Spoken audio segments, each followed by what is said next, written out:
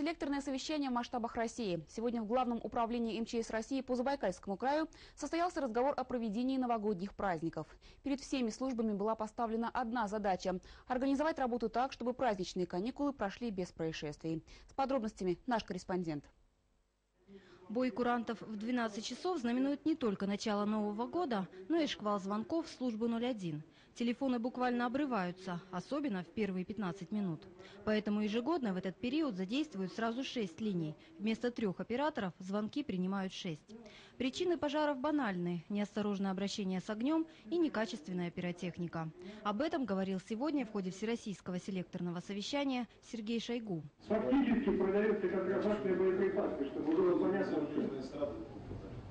которая непонятно как сработает, когда сработает. Министр предложил всем организациям, торгующим пиротехникой, прилагать к продаваемым товарам специальные инструкции.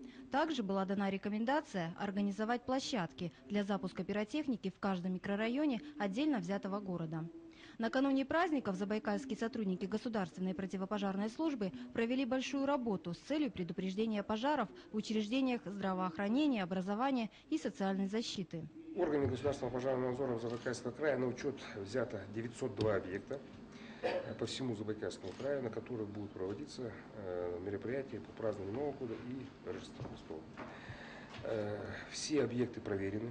Э, радует то, что на сегодняшний день нет объектов, которые бы не допустили или запретили проведение этих мероприятий. На период проведения мероприятий на каждом объекте будет осуществлено дежурство либо сотрудников государственного пожарного управления, либо сотрудников или работников федеральных пожарных частей. По статистике, ежедневно из-за пожаров в России гибнут 45 человек. В новогодние же каникулы больше сотни. Поэтому, чтобы праздник запомнился только в положительном смысле, нужно внимательнее отнестись к применению пиротехники и организации самого мероприятия. Юлия Тимошенко, Евгений Погорелый. Время новостей.